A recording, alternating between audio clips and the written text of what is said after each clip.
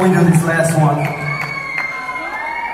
one person I ain't thanked yet, the one person who brought everybody in this room together. We miss him so much, I know you all do too. Please, everybody stand up, raise your hands and raise the roof for the one and the only Prince!